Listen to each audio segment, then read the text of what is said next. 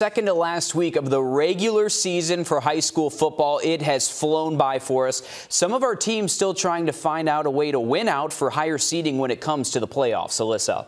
Yeah, you can't talk about tonight without reversing the clock a little bit. Last season, we saw Midland Valley cap off a performance that ended North Augusta's 24-game win streak against the Mustangs. Now North Augusta is back in prime positioning to take the region. Midland Valley was still able to scrap together some wins despite a slow start. Joe Doring is at North Augusta. The Jackets want to protect their house, Joe. Yeah, Alyssa, this has been a pretty one-sided rivalry throughout recent history. If you take out last year, every time these two teams have played dating all the way back to 1998, it's been North Augusta taking home the W. Now, here's what the game looked like last year. There wasn't a lot of defense being played whatsoever until the very end of the game when Midland Valley blocked North Augusta's game-winning field goal attempt to win it 49 to 48. The Yellow Jackets currently sit at 7 and 1 and they don't even need to win tonight tonight to clinch the region. That goal is going to come next week against Gray Collegiate, but this one tonight feels personal for Coach Richard Bush's team.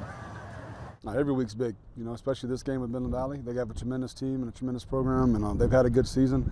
And our guys here at North Augusta, they know they know what's at stake. They know what we're playing. You know, we're playing for a lot of pride. We're playing for, um, you know, to be in a good situation going forward this year. So they're looking forward to this week. They're not looking ahead. They know they know what's at stake tonight.